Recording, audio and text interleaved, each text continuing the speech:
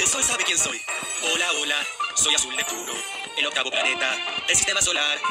El planeta más lejos del sol. Sabes que soy yo, Azul Neptuno. Claro que te conozco, Neptuno. Hola, hola, yo soy el sol. Estoy en el centro